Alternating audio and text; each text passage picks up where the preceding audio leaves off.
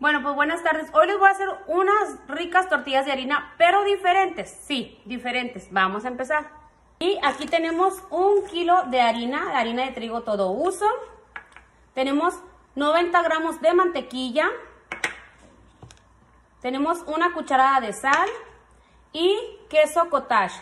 Vamos a utilizar queso cottage. Con esto vamos a amasar nuestra harina. Y tenemos acá una taza y media de leche. Y está calientita. Vamos a agregar nuestra harina aquí a nuestro bol. Es un kilo. Vamos a agregar la sal. Y vamos a incorporar así muy muy bien. Vamos a agregar la mantequilla. Y la vamos a poner hasta que esté arenosita y vamos a agregar nuestro queso cottage. Ya que está nuestra harina así, arenosita, vamos a ponerle nuestro queso cottage.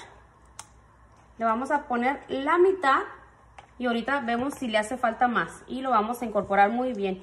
Esto les va a quedar muy muy rico la verdad, les va a dar una suavidad y un sabor delicioso a nuestras tortillas de harina. Le vamos a agregar todo el bote, todo el bote de queso cottage. O sea que en total me llevé 680 gramos de queso cottage. Vamos a agregarle tantita leche. Y me quedo aquí amasando y ahí les muestro si me llevé toda la leche. Y bueno, pues miren, después de tanto amasar, así nos quedó nuestra masita.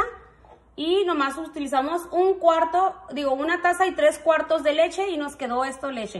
Lo que vamos a hacer, vamos a empezar a hacer nuestros testales. Me quedo aquí terminando de hacerlos y les muestro todo lo demás. Bueno, miren, ya terminé todos nuestros testales y vamos a empezar a extenderlos. Y ya tengo mi comal calentando.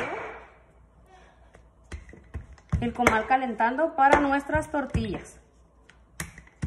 Y aquí pues es del tamaño que ustedes quieran. Yo siempre le pongo harina para ayudarnos a extender. Miren, los, los blanquitos que se mira es el queso cottage. Pero nuestra harina quedó bien suavecita. Y ahora sí, vamos a, a cocer nuestras tortillas. Ya nuestro comal ya está precalentado y cuando empieza a hacer burbujitas es cuando la debemos de voltear. Bueno, miren, pues cuando ya está así, es momento de voltear nuestra tortilla. Miren, miren nada más cómo se infla la tortillita.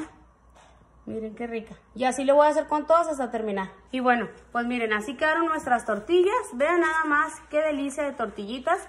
Y pues ya se las pueden comer ustedes con lo que ustedes gusten. Yo les voy a acompañar con unos frijolitos que apenas voy a guisar. Ya saben, si les gustó esta rica receta, ayúdenme a compartir la página, denle like y síganme en todas mis redes sociales. Bye.